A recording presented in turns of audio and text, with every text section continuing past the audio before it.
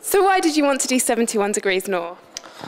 Oh, crikey, I don't know now. I can't remember. Um, it was a last minute decision. Um, I'd been sort of like a full time dad for a year. I was getting out of shape, and I thought it was about time I started trying to get back into shape, and, and this sort of helped.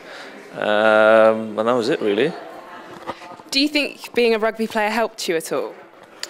Uh, possibly having the sporting background and the fitness background, but you know, going into that show, I was in the worst shape I've ever been in in my life, um, and it just kick-started me then to get back into training. Then, so it was good, really. Do you think this is the toughest reality show out there? I don't know. It's the only one I've ever done. Um, it, you know, I think it's got everything. You know, it was it was extremely tough. You know, it was minus 30, minus 40. That's hard going. Snow was about four or five foot deep. That's hard to walk through.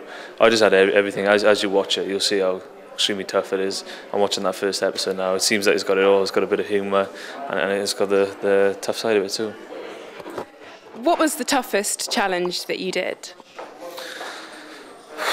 Um, the toughest challenge I did was probably having to swim under ice, which was mind blowing, and I still think about that now. It was tough. You'll have to wait and see and watch it. It's wild. Do you have nightmares about it? Um, kind of.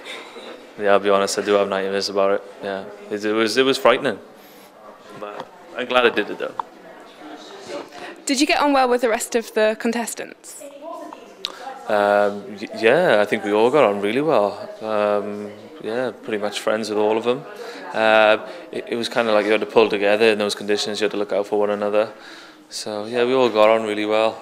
You know, there was a few sort of arguments along the way, but there was nothing ever personal. Did you get very competitive, or did you sort of go along with each other and help each other along? Um, I got very competitive, yes, and I think I brought that out in most of the others as well, which which makes it for an even better show. I think.